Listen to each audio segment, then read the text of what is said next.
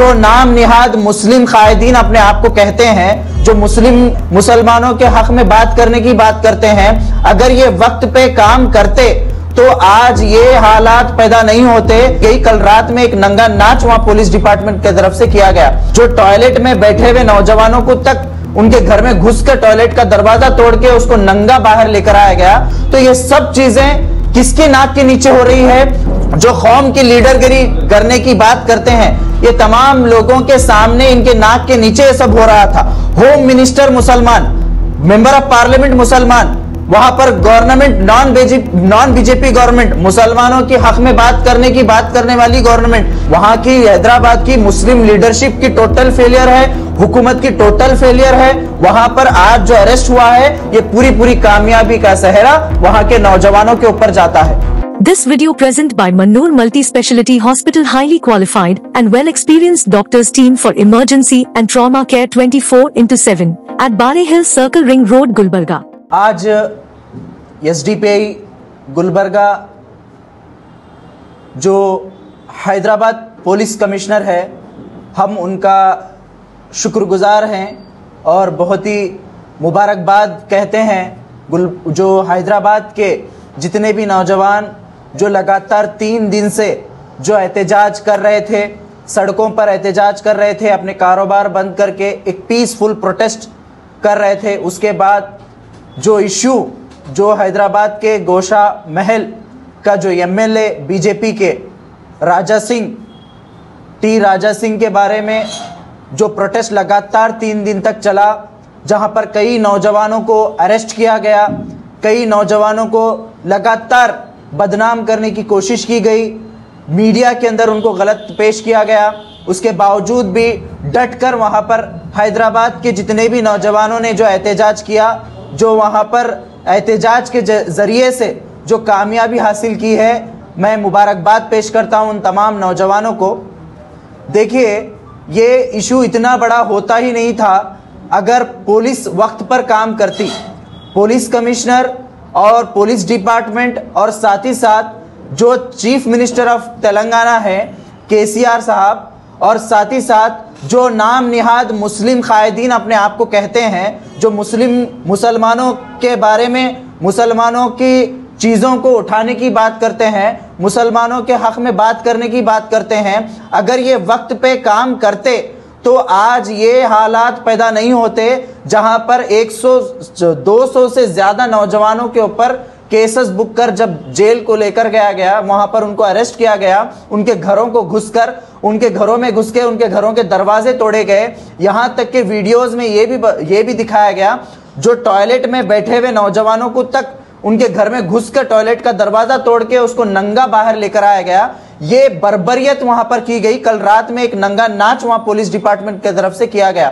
तो ये सब चीज़ें किसकी नाक के नीचे हो रही है? जो कौम के बारे में बात करने वाले लोग, जो कौम की लीडरगिरी करने की बात करते हैं, ये तमाम लोगों के सामने इनके नाक के नीचे ये सब हो रहा था। होम मिनिस्टर मुसलमान, मेंबर ऑफ़ पार्लियामेंट मुसलमान वहाँ पर government non non BJP government, मुसलमानों के हक में बात करने की बात करने वाली गवर्नमेंट, ये सब कुछ रहने के बावजूद भी वहाँ पर मुसलमानों को सड़कों पर तीन दिन से एहतजाज करना पड़ रहा है। ये बहुत ही शर्म की बात है। ये बहुत ही शर्म की बात है। आज जाकर वो जो तीन दिन पहले जो अरेस्ट वहाँ पर जो केस बुक किया गया था एफ़ हुआ।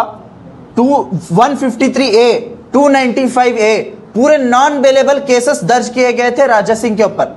टोटल 101 क्रिमिनल केसेस हैं राजा सिंह के ऊपर। उसके बाद 18 कम्युनल केसेस हैं राजा सिंह के ऊपर। लेकिन जब कोर्ट में पेश किया गया, नामपल्ली कोर्ट में, तब उस वक्त पब्लिक प्रोसिक्यूटर क्या कर रहा था?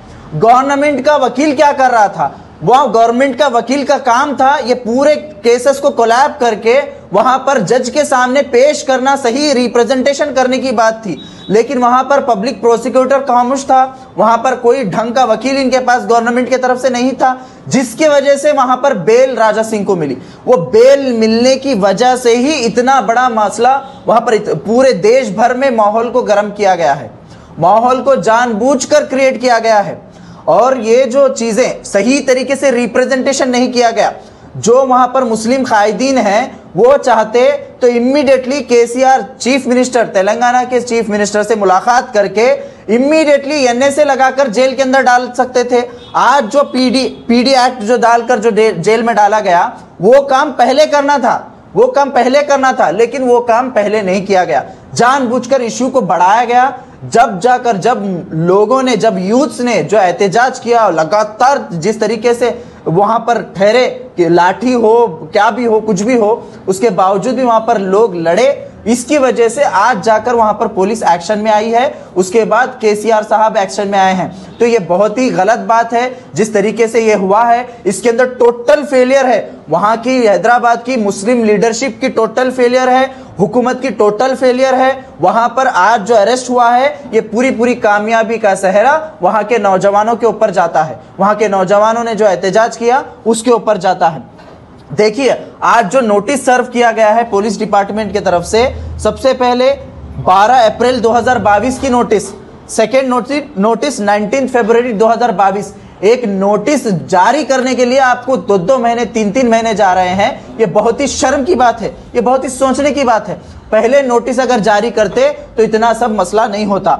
आज पीडी एक्ट के आ, अंडर अरेस्ट किया गया है। राजा सिंह को फिर एक बार जो प्रिवेंटिव डिटेंशन एक्ट है इसके अंदर पुलिस हेबिचुअल जो क्राइम करते हैं, लगातार जो क्राइम करते हैं, उनको ये पीडी एक्ट लगाया जाता है। ये बहुत ही अच्छा एहतजाज रहा, जिसकी वजह से यहाँ पर इसको, यहाँ पर अरेस्ट किया गया है। मैं यहाँ पर गवर्नमेंट तेलंगाना की गवर्नमेंट से और जो नाम निहाद कौम के लीडरान अपने आप को कहते हैं, जो कौम के बारे में खाली बयानबाजी के अलावा दूसरा कुछ काम नहीं करते हैं, इनसे मैं कहना चाहता हूँ कि आप इमीडिएटली जो भी पब्लिक प्रोसिक्यूटर को रख रहे हैं, बेहतरीन पब्लिक प्रोसिक्यूटर को रखें। ये हाई कोर्ट में जाकर, फिर डिस्ट्रिक्ट कोर्ट में जाकर कहीं पर भी बेल ना मिले जैसा आप काम करें, ये हमारा डिमांड है। एस डी पी गुलबर्गा यही कहती है, सरकार से सेंट्रल गवर्नमेंट से भी यही कहना चाहती है, नुपुर शर्मा को सस्पेंशन करने से कुछ नहीं होगा, ना ही राजा सिंह को सस्पेंशन करने से कुछ होगा। आप जब तक कानून नहीं बनाते पूरी दुनिया में सबसे बड़ा मुल्क हिंदुस्तान, जमहूरी मुल्क है, जहाँ पर सैकड़ों मज़हब के मानने वाले लोग हैं। अगर इसको, इन, अगर मज़हब के खिलाफ में जो भी लोग बात करते हैं, उसके ऊपर कानून नहीं बनाया जाएगा तो इसी तरीके से हर कोई आएगा, इसी तरीके से बयानबाजी करेगा, धर्म के खिलाफ बात करेगा, धर्म के गुरुओं के खिलाफ बात करेगा तो इसके ऊपर कड़ा सा कड़ा कानून बनना चाहिए। और जो लगातार मुसलमानों को, इस्लाम को और प्रॉफिट मोहम्मद सल्लल्लाहु अलैहि वसल्लम को जो लगातार अटैक किया जा रहा है, अगर इसको रोकना है तो कड़ा सा कड़ा कानून बनाना होगा, तभी जाके हमारे मसाइल का हल होगा। ज़िंदगी का हर पल रहे खुशियों भरा, प्यार का हर रंग लगे दिलकश और Haseen H K G N furniture complete bed set sofa set dining table इसके अलावा आपकी लाडली के लिए मुकम्मल मैरिज सेट सिर्फ़ और सिर्फ़ चौवालीस हज़ार नौ सौ निन्यानवे रूपए में। और इसके साथ डबल डोर अलमारी और बेड सेट बिल्कुल फ्री आज ही विज़िट करे proprietor Mohammed Naseer Kishti. Address Farid complex Owaisi hill, Hyderabad. Contact double nine one two eight five seven two three zero और nine three four six zero six two one nine zero